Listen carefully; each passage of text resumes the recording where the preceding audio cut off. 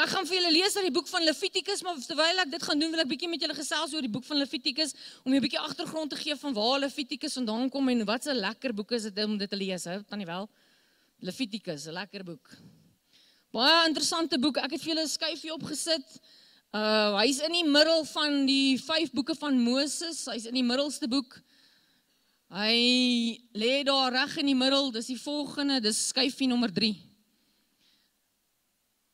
Daar's ons 'n uit uit uitlegging. Dit is so jy kan sien hoofstukke 1 tot 7 gaan daaroor, hoofstukke 8 gaan oor consecration, 9 en 10 gaan oor commitment en dan gaan hy so aan. So dit is so net so vir interessantheid dat jy dit moet weet.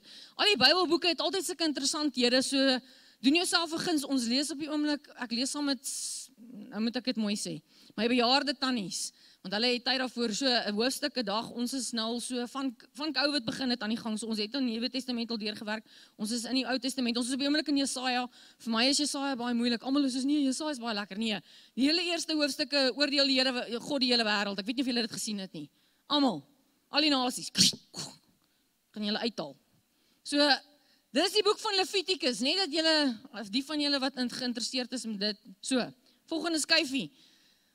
Levitikus sit dan nou tussen Genesis, Exodus, Levitikus. Daar. So Genesis sê vir ons traces of the origin of God's people from creation to Egypt. So ja, dit gee vir jou 'n oorsig. Levitikus sit in die middel. Sets forth the laws of worship. Goed. So die volk is nou hier uit Egipte uit. Hulle is op pad na die beloofde land toe. Hulle is in die, op die berg van Sinaï. Hulle trek nie in die boek van Levitikus nie, so hulle is daar en die Here praat met hulle oor hoe hy hoe hulle hom moet aanbid. So dis die eerste keer van Genesis af waar ons weer sien in die boek van Levitikus waar Levitikus waar God onder sy volk kom wandel en met sy volk ehm um, gemeenskap het. Die tabernakel is gebou, die die Here het met vuur afgekom. Nou begin hy en dan ons gaan nou die gedeeltes lees oor die priesters. So die hoofstuk Levitikus 8 sê vir ons Dit is hoe die priesters moet wees. Dit is hoe hulle lyk. Dit is hoe hulle gesalf is. Hoofstuk 9 sê vir ons, goed, jy dit is die basis, dan begin die priesterskap. So die middeling, die bemiddeling tussen God en die mens tree in. En dan sien ons in hoofstuk 10 van Levitikus die breakdown, soos die Engels sal sê, van die priesterdom. Drie hoofstukke. En daai ouens was soos, hulle is nog nie op die job. Hulle het nou net begin. Ja, hier is ons nou Die eerste keer Aaron se seuns word gesalf, hulle is nog nie en hierdie eerste lot priesters, hulle dink hulle is baie slim. So ons gaan vanoggend bietjie daaroor gesels. So een van die redes hoekom God met die mens praat oor aanbidding en die manier hoe hy aanbid moet word is omdat God heilig is. Nou baie van ons ken die woord heilig. Die Engels praat van you are set apart. God is holy. En hy hy roep sy mense om heilig te wees. In die boek van Levitikus sien ons hoe die Here met jou praat oor oor met hulle praat oor eetgewoontes. Jy mag nie diere eet met gesplete hoewe nie. Jy mag nie as jy die visse is, sekere visse mag jy nie eet nie. So die Here het al hierdie wette en reëls rondom wat hulle moet eet en wat hulle nie moet eet nie en allerlei goeders en dan kom die Here en hy sê hierdie ding. Hy sê ek is heilig. Nou Baie keer raak ons gewoond, veral in kerk, raak ons gewoond aan sekere terminologie en dan raak mens gemaklik met dit. So jy dink God is heilig en dan wil jy so half, okay, so hy's heilig, hy's ver. Nou okay, kom ek verduidelik vir julle God se heiligheid op 'n ander manier. God is heilig want eerstens God is anders as ons. Is dit so? Amen. Okay, want eerstens God is die skepper en hy is die enigste een. Verder alles wat ons ken en weet is die skepping, ons ook. So dit maak God baie anders as ons. Amen. So God aanbid niemand nie. Amen. Maar almal word verwag om hom te aanbid. So dis nog 'n rede hoekom God anders is, heilig is. So nou kom hy na die volk toe en hy sê vir die volk, dit is wat ek wil hê julle moet doen. En hy kom en hy stel hy hy ten stel sy heiligheid ten toon. In in die boek van Genesis met die plaas sien ons of eintlik met Eksodus sien ons hoe God sy hele heiligheid in die kosmos of in die wêreld tentoonstel want hy wys vir Farao en vir almal ek is nie deel van hierdie wêreld nie want hy stuur al die pla. So nou kom hy en nou wys hy maar ek is nie deel van enige afgod of enige god wat jy gaan kry nie. Ek is anders, ek is heilig. I'm set apart en hy verwag van sy mense ook om so op te tree. So dis hoekom die boek van Levitikus daar is. So Levitikus is in die middel en dan sien ons hoe hulle van daar af gaan en dan kry ons Numeri en dan kry ons dan natuurlik Deuteronomium en dan neem hulle die beloofde land in in die boek van Josua wat hulle in elk geval net vir interessantheid nooit ten volle inneem nie. Selfs in Dawid se tyd neem hulle eers van die laaste stede in. So as mens die boek nog die Bybel so net kronologies of net so begin lees dan kom jy agter ook hy. Goed, so dis hoe dit werk. So God sê vir hulle Ek wil in julle midde woon en julle moet my aanbid. En nou kom ons in Levitikus 10 en my skrifgedeelte is Levitikus 10 vanaf vers 1 tot en met vers 3. En ek lees dit uit die Bybel vir almal. Jy kan dit in jou eie Bybel volg. Die rede hoekom ek ek het gaan lees uit die Bybel vir almal uit is dit gee net vir ons 'n bietjie meer beskrywing sodat ek nie hoef dit weer vir julle te verduidelik of vir julle dit kan gee nie. Dis bietjie meer beskrywing. So ons begin. Aaron se seuns na Daba, hè, is ek reg? De na nabat. Dis nie 'n bin nie, dis 'n de. Na daba, hè? Dankie. En Abihu. Nou hierdie twee seuns net van interessantheid kry ons ook in Eksodus 24 toe die Here vir Moses sê kom op na my toe, bring um, Aaron en die oudstes van die land, kom in my teenwoordigheid in in Eksodus 24 toe's hierdie twee seuns daar. So hulle ken God, hulle was in God se teenwoordigheid, hulle het God gesien op by die berg. So, hulle is nie vreemd kan ek dit so sê in aanhalingstekens vir die Here nie. Scary. Scary. Hulle het hulle die Here kies hulle uit. Hulle is priestersseuns. Hy salf hulle. Hulle het die vorige hoofstuk alles gedoen wat reg is. Die Here kom met vuur en ontvang hulle offers. Nou kry ons hierdie twee seuns en hulle kom hier voor en hulle die skrif gaan aan. Hy sê He, uh, hierdie twee seuns, hulle het hulle wierookpanne geneem. Elkeen het sy wierookpan vol vuurkolle gemaak en hy het wierook bo op gesit. Goed, wat hier gebeur is, jy gaan na die offeraltaar toe, wat heel in die begin van die tabernakel is. God het nou hierdie vuur aan die brand gesteek uit die hemel uit, uit hierdie offer aanvaar. Jy gaan haal kole daar, die priesters nou. Jy sit dit op jou vuurpan en dan gaan jy tot en met die voor die allerheiligste gaan jy na die ehm um, uh incense. Nou het ek vergeet wat is in Afrikaans. Die wierook offeraltaar. En dan sit jy dit daar en dan gooi jy wierook op. En as die die allerheiligste, die priester gaan een keer per jaar en dan vat hy daai daai ehm um, wierook en hy swaai dit so en dan gaan hy in die teenwoordigheid van die Here in. So dis wat nou hier gebeur. Hulle moet nou na die wierook offer altaar toe gaan. Hulle moet die kole gaan gee sodat hulle die wierook bo-op kan sit. En hierdie twee manne besluit ons gaan ons eie vuur vat. So kom ons lees verder. En toe hulle dit na die altaar bring, bo-op gesit en toe hulle dit na die altaar bring, maar die Here het nie gesê hulle moet daardie vuur gebruik nie. Die ander van daai ander vertaling sê profound fire, strange fire. Ek dink die 53 vertaling sê vreemde vuur. Vers 2. Daar het toe vuur van die altaar gekom en dit het die twee seuns van Aaron verbrand. Hulle het daar voor die Here gesterf. En Moses het vir Aaron gesê: "Dit is wat die woorde van die Here beteken toe hy gesê het: Die mense wat vir my offers bring, moet weet dat ek 'n heilige God is en die volk moet sien dat ek die koning is. Julle kan dit gaan lees in uh, Eksodus 19, dis waar die Here dit met Moses gespreek het. Nou net vir interessantheid, hierdie is nie die laaste keer wat so 'n insident in die Bybel plaasvind nie. Julle sal sien reg deur die Bybel, elke keer as die Here 'n nuwe dekade of 'n nuwe dispensasie aankondig, dan gebeur daar nogal so iets. Hier kondig hy in die Engels praat van die theo, theo ehm uh, Ek gaan dit nou kry. Theocras, uh, jy wanneer God in beheer is. Theo, help my. Praat harder. Theocraties. God sê hierdie dekade wat ek nou aankondig is 'n theocratiese uh, um uh dekade. Ek is God, ek is die koning, net soos wat julle hier gelees het. Die volgende keer kondig hy die monargie aan. Toe Dawid aan bewind kom, toe gaan haal hy mos die ark van die Here. Hy kom in, toe daai een ou sy hand uitsteek om die ark te keer, voep, dood. Hm? Raai wat dit gebeur in die Nuwe Testament ook. Weet julle waar?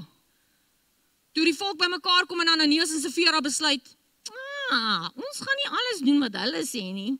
Ons sal 'n bietjie van die goedjies vir onsself hou." En toe hulle voor die profete of voor die disippels kom en hulle staan daar en die disippels sê vir hulle, "Het julle alles gebring?" Sê hulle vir hulle, "Ja." Woep, ap, dood. So, julle sien.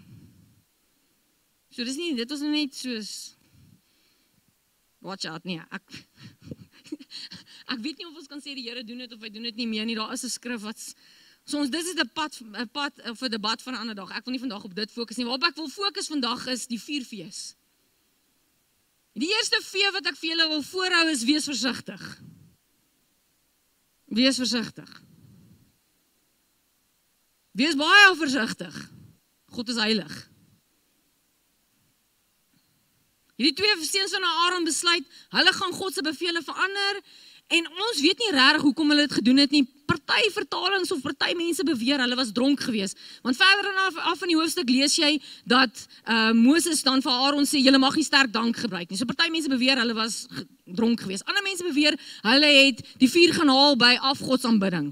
Ons weet nie die waaroms en die hoekoms hulle die vuur gevat het of die vreemde vuur nie. Wat ons weet is hulle het besluit ek sal my eie ding doen.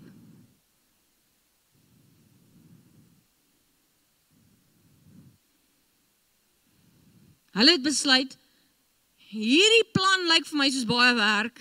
Want julle moet nou weet ek moet daar na die offeraltaar toe gaan buite die tabernakel en dan moet ek inkom hier in die heiligste in en dan moet ek man as ek sommer halfpad stop. Kom ons sê maar sommer daar by die kandelaar. Julle weet daar's vuur daar by die kandelaar ook. Ek sê nie hulle het vuur by die kandelaar gevat nie. Ek sê net daar was ander vuur op die, in die tabernakel ook gewees. Die Here sê Dis jou idee. Wees versigtig. Jare terug was my kinders baie siek. Hulle was baie klein gewees. Hulle het altyd baie sleg asma gehad. Ons het 1 jaar op vakansie gegaan. Hulle wou ons vir Arney opneem. En um, ons het daar by die hospitaal gekom, sy kan omtrent nie asem kry nie. Ons is in Tsepies. Julle weet die ou mense oorwinter ons altyd in Tsepies. Ons het vir my ouma al gaan kuier. Toe ons daar kom, toe kry sy nie asem nie en die dokter sê vir ons nee, ons gaan haar opneem. Ons gaan haar in een of ander tentjie sit en ek weet nie wat als nie in die hele storie. Want ons hou die hele karavaanpark wakker want sy huil die hele tyd want sy kry nie asem nie. Sy sukkel om asem te haal, né? En ek kom terug van hierdie vakansie en hierdie storieetjie af en julle weet hoe se ma se hart nou is ek baie ontsteld en behalwe dit jy weet my kinders is jonk dit is tyd vir sport hulle moet hardloop allerhande goed en ek sien net hier hierdie asma gaan 'n groot probleem veroorsaak en ek besluit toe ek gaan die Here vertrou. Maar intussen het ek 'n ander vriendin Haar seentjie is min of meer so oud soos Arney. Ek dink hulle is dieselfde ouderdom en sy het al die Here vertrou. Sy sê vir my man, ek het gegaan, ek het al daai asma pompies en al daai kortison medisyne en daai julle weet mos daai ek daai tyd was dit Actrovent en Betrovent. Onthou julle dit? Ek weet nie julle sal seker niks van weet nie. Sulke goedjies wat jy moet so oral te doen en allerlei goeters. Ek het alles gevat, gooi ek dit in die asblik en die Here het my kind gaan genees en ek dog. Nee, lekker. Kwai, dis nou te cool. Ek vat daai pompies en al daai goed wat hulle vir my daar gegee het. Ek gooi dit in die asblik. Mm, toe bel die kleuterskool my en sê, "Jou kind kry nie asem, kom haal hulle." Maar die Here het dit vir hierdie persoon gedoen. En dis mos 'n stap in geloof. En ek is mos ook 'n koningskind en jy weet al daai goed wat jy in jou kop begin redeneer en uitpuzzle en begin regverdig en jy begin die skrifte kwoteer, jy begin 'n klomp goed doen en toe sê die Here vir my, "Dis jou idee." So toe moet ek bietjie terug staan en sê, "Oké okay, Here, wat is u idee? Ek sal my submit aan u idee. Ek sal kom na u toe en vir u vra wanneer wil u my kinders aanraak? Wanneer wil u my kinders gesond maak? Hoe wil u dit doen, Here?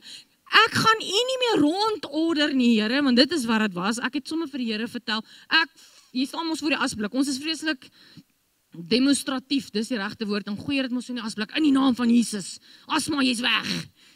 Ek was ook 'n jong bekeerling wat baie vuur gehad het op 'n stadium. Ja, Marula borrels in die asblik gegooi, ek het vir niemand gegee nie. Allerhande, julle weet mos waaroor dit gaan, hè? Dis reg. Maar toe begin ek 'n bietjie van ehm um, ek sal vir Here vertel. En ek dink Arney was graad 2. So nou kom ons al rukkie met hierdie asma en pompies en kortison en al hierdie goedjies mediese fonds. Afsprake by die dokter. Kan nie hardloop nie, moet versigtig wees.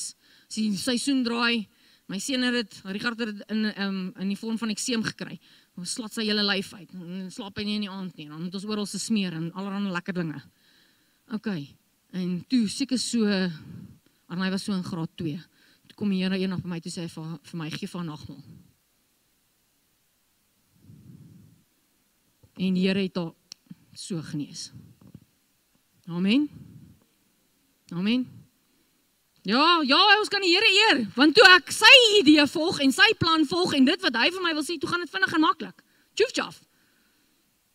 Toe ek by die punt kom om nie my eie vuur te gaan haal, my eie plannetjie te beraam, my eie idee te gaan haal en te sê, Here, die engel sê, bless this mess want ek is mos in beheer en ek weet wat ek wil doen en jy weet ek het mos altyd hierdie autoriteit want ek is 'n kind van die Here en ek ken die skrifte en ek ken allerlei goed, maar ek het 'n submission probleem. want God is heilig. Richard het so ruk terug, hy's nou al 'n bietjie ouer, hy kry dit ook glad nie meer nie. So die Here het hom totaal en al net op 'n ander manier genees. Dit was ook nie dieselfde patroon nie.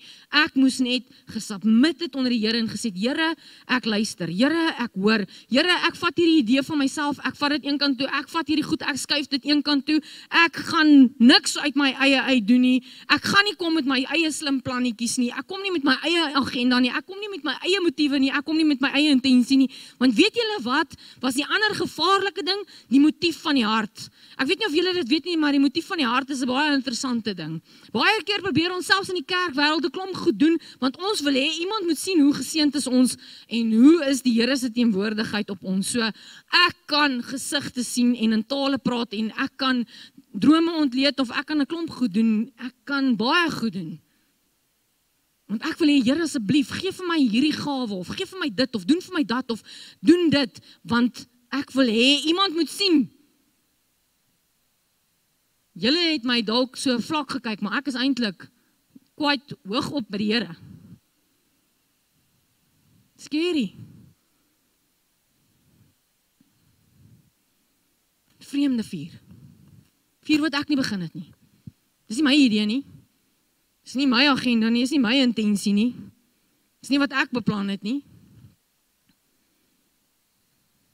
Nou ons gesels met mekaar oor 'n hart van diensbaarheid.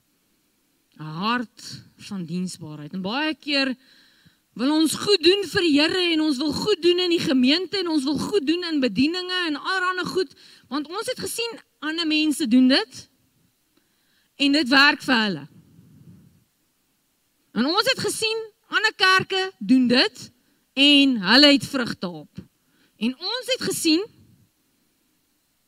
gesien En nou spring jy op hierdie bandwagon en jy begin hierdie, hoe kan ek sê, hierdie dade en werke en jy's aan die gang en jy is net te besig en allerlei goeders, want dit werk vir ander mense, maar jy het nie gehoor wie se idee is dit nie. En is dit 'n idee vir jou nie? En vir jou gemeente en vir jou bediening en vir dit wat jy nou moet doen nie. Want dis harde werk. Julle weet ek en Morney is nou in die fase my kinders is nou uit die skool uit en ons lewe het verander en nou die dag toe moet ons gaan sien ons iemand ehm um, Paul uh, hy was al hier by die gemeente gewees hy werk oor verhoudinge en goeders en hy vra net vir Morney en vir my die volgende ding hy vra vir ons het julle julle lewens geherdefinieer? Het een van julle al ooit enigiets geherdefinieer as daar verandering in jou lewe plaasvind Het julle al gegaan en gaan stil sit en gesê, "Goed, my kinders is nou uit die huis uit. Hier's so ander ene. O, ja, dis die pa van die kinders. O nee, ek is mos met hom getroud. O, ja. Eintlik like ek hom lank lank gelede. Onthou julle daai een? Want intussen het jy kinders groot gemaak en 'n klomp goed gedoen en nou kom jy agter, o, O, hier's so 'n ander ene ook in die huis. Hy haal asem. Sy koppie is nog op dieselfde plek. Sy skoene is nog in dieselfde kas. Al die goed is nog daar. Ons is 20 jaar, 25, ek 26 jaar, maar nou ek het reg gekry. Getroud. Hy's nog hier. Jay! Okay, maar wat maak ons nou met mekaar? Herdefinieer. Daar's iets in jou lewe wat nie werk nie. Was iets in jou lewe wat wat nou iewes skielik verander het. Jy het van werk verander, jy het van omstandighede verander, jy het verhuis. Jy het een of ander iets het gebeur. Van julle gaan matriek uitgaan, allerhande goed. Wanneer het jy gegaan en gaan sit en geherdefinieer en gesê, Here, wat is u idee? Wat is u plan? Wat wil u nou doen? Waarmee moet ek my nou besig hou? Wat wil u hê moet ek nou offer? Want ek weet nie of julle weet nie, maar die volgende f is 'n vreeslike ding. Dis verbrand. Jy het gesien wat gebeur met daai seuns. Die oomblik toe hulle daar kom met hulle eie idee, hulle eie plannetjies, hulle eie goed, toe stuur die Here 'n vuur uit die altaar uit en dood. Ek is seker van julle het dit nog nooit in julle lewe ervaar nie. Wanneer jy voel ek het alles reg gedoen, ek het alles probeer, ek het ehm um, ek het so hard ehm um, jy weet gewerk aan hierdie storie. Ek het so hard, ek het so baie van myself gegee, 'n bediening, 'n verhouding, 'n werk, finansies, enigiets. Maar ek het so ek het so hard probeer. En iewes skielik is daar 'n doodsheid in daai area. Daar kom niks op nie. En nou is jy vreeslik hartseer en jy's vreeslik devastated en jy's vreeslik ontsteld en jy is voel dat 'n gedeelte van jou besig is om dood te gaan want raai wat die Here het nie net daai wierookpanne uit hulle hande met weerlig geslaan en vir hulle gesê los die goed nie hy het hulle lewe gevat So in hulle slim plannetjies en in hulle slimheid het nie net die plan waarmee hulle gekom het verbrand nie, hulle self het doodsheid ervaar. En dan kom jy na die Here toe en jy sê Here, maar hoekom nou? Ek het dan alles reg gedoen. Ek het dan ek het dan ek het ek het ek het ek het ek het daar's net net net daar. Daar's te veel ek. Daar's te veel ek. Daar's te min. Here, ek luister. Here, ek hoor.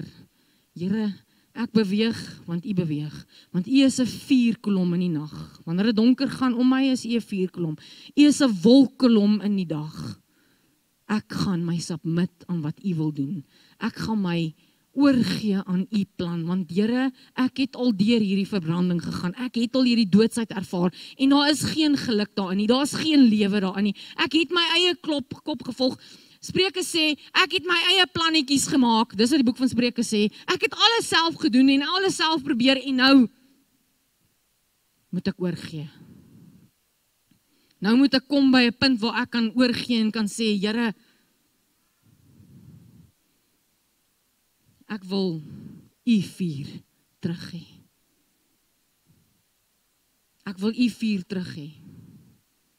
Hoe kry jy daai vuur terug? God se vuur terug in jou lewe. Weet julle die Here is almagtig. Die Here is so goed. Ons is in die Nuwe Testament. In die Nuwe Testamentiese bedeling is dit so amazing. Daar is een manier jy kom val. Dis die derde vee voor sy voete neer. Jy kom val voor sy voete neer en jy kom lê jou krone neer en jy kom sê Here, hier is ek. Want daar's 'n belofte wat ons toe kom en ons kinders toe kom met die doping van die Heilige Gees, met die vier tonge wat uit uitgestort is op die dag van Pinkster dat God het 'n offer wat Jesus Christus was vir ewig en vir altyd reeds aanvaar. Ons kan net kom by 'n plek van val voor sy voete neer. Die kortste vee van al die fees. Die een wat die meeste inspanning vat. Die een wat die meeste tyd vat, die een wat die meeste opoffering vat. En om een of ander rede rede is ons nog almal nog steeds baie huiwerig. Ons wil baie trots en baie selfvoldaan wees. Want ek weet nie of julle dit weet nie, maar As jy dan maar iets al in jou lewe reg gekry het, ek meen jy's by die werk darm 'n baas. Uh, jy's 'n leier, jy is 'n bestuurder. Jy moet weet ek het dan geld in die bank. Ek jy moet dan weet ek het al goed in die lewe reg gekry. Die oomblik is daai mm, wat noem ons dit? Vreeslike historiese mens tentoongestel word, raak dit baie moeilik om te val voor die een wat eintlik dit net aan jou gegee het, aan jou toevertrou het. Dan raak dit baie moeilik om jou knieë te buig en jou krone en jou eie idees en jou eie planne neer te lê. En die rede hoekom ons moet val voor hom en waar ons moet kom by die punt waar hy hierdie vuur in ons binneste weer moet aansteek sodat dit nie 'n vuur van 'n verterende vuur is wat van hom af hom uitgaan nie, maar 'n vuur van verligting, 'n vuur van warmte, 'n vuur wat kom sodat daar lewe in jou binneste weer kan kom. Daardie vuur. Die rede hoekom jy nodig het om dit te doen is die laaste vee, omdat dit wat hy in jou begin het, dit wat sy plan is, dit wat hy begin het, die vuur wat hy aangesteek het, die idee wat hy gehad het, dit sal hy volëindig. Die oomblik as jy iets self begin, moet jy dit self klaarmaak. En dis baie harde werk. Weet julle dit? Dis vreeslike baie inspanning ook. Want jy moet al die angles heeltyd notch en kyk wat gaan aan oralste. Die oomblik as God 'n idee gee, nie 'n goeie idee nie. Julle weet mos daar kry daar's in by die kantoor het ons hierdie gesegde wat sê, is dit 'n goeie idee of God se idee?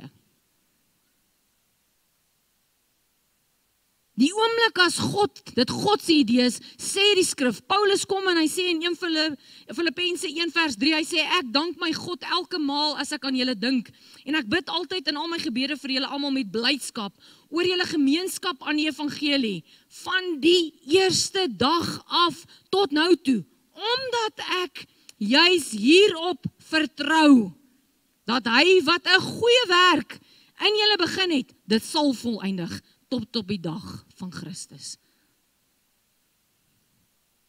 Ek wil vanmôre afsluit met hierdie gedagte en vir julle sê God het 'n goeie werk in jou begin. God het 'n goeie vuur, 'n sustainable fire, 'n warm vuur, 'n welkom vuur in jou aangesteek. God het 'n goeie sustainable welkom vuur in hierdie gemeente aangesteek. Amen. God het 'n goeie sustainable warm vuur in jou bediening aangesteek. Onthou ons praat met mekaar oor 'n hand van hart van diensbaarheid. Daai flikkering, daai vlam, daai ywer, dit wat die Here in jou begin het, dit wat die Here in jou begin het, sal hy volëindig. Al wat jy moet doen is val voor hom neer en sê vir my Here, ek gaan nie meer my eie idee volg nie. Ek gaan nie meer my eie plannetjies maak nie. Ek gaan nie meer my eie vuur probeer bewerkstellig nie. Ek gaan voor U neerval.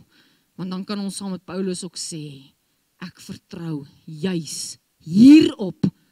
Nie op jou idee en op jou plan nie, op die feit dat God het dit begin en hy sal dit volëindig.